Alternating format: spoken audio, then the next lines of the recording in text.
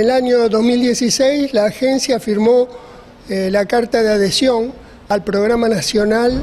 de Reducción de las Pérdidas y Desperdicio en Alimentos, por lo cual nos hemos comprometido a realizar distintas acciones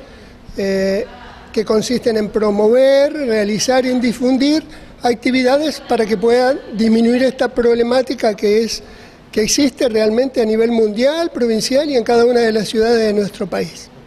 ¿Cómo funciona esto en términos prácticos? Bien, es una, lo interesante es que es una alianza entre tres ministerios, Ministerio de Medio Ambiente, Ministerio de Producción y Ministerio de Salud, que han acordado acciones conjuntas para específicamente en los espacios de bares, restaurantes y hoteles de la provincia incentivar a que los mozos y también los clientes retiren las porciones no consumidas de los platos que les sirvan. En la adhesión siempre comenzamos por un municipio. El primer municipio donde implementamos este, este programa fue en San José del Rincón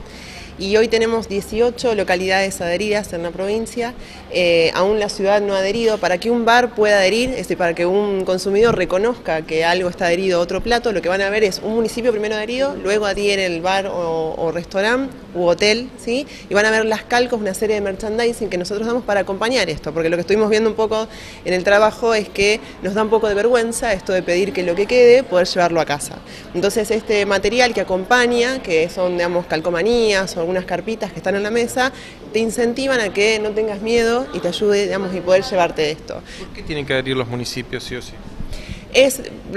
un acta de adhesión que es voluntaria y porque tiene que ver con un compromiso también del municipio de trabajar con estos tres ministerios, que tiene que ver, por eso digo, en lo que tiene que ver con seguridad alimentaria, también son los municipios los que primero pueden decirnos si los bares están trabajando digamos, de modo regular, con ASAL, en cuanto a medio ambiente con desperdicios de alimentos, y en cuanto a turismo también cómo lo vienen trabajando con cuestiones de calidad. En la difusión que ustedes hacen hay cantidades importantes de comida que se desecha, ¿se puede ejemplificar en qué volúmenes estamos hablando de comida que en los bares se, se tira o no se?